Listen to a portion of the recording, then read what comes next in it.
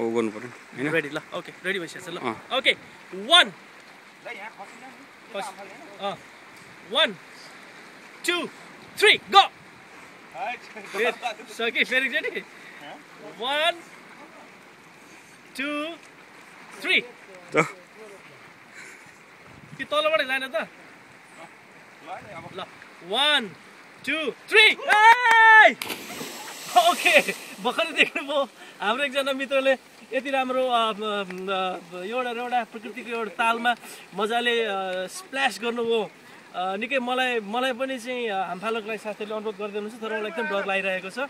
तर म चाहन्छु म चाहिँ नगरौँ तर कसैले यो प्रकृतिमा चाहिँ डुबुल्की लाउन सकौँ र अहिले चाहिँ म साइप्रसमा छु। साइप्रसको यो आज कार्यक्रम सकेर घुम्ने तर्खरमा छु र आम भेरी एक्साइटेड। र यो प्रकृतिको यो हेर्नुहोस् न अब प्रकृतिको एउटा लीला भन्छ प्रकृति म एउटा नेचर लभर पनि हो। वास्तवमा आजको क्षण एकदम रमाइलो भएको छ। आई विस म चाहन्छु कि यसमा कुनै दिन आएर यसरी जम्प गर्न सकौँ। थ्याङ्क यू भेरी मच अलिकति यसो खिचिदिएर सिनहरूलाई बिस्तारै नहल्लाइकन खिचिदिएर स्टप गर्नु थ्याङ्क यू सुभाष भाइ लक भइसक्यो अनि। साउको फोन आयो लक भयो। हेर। यो लक भयो भने क्या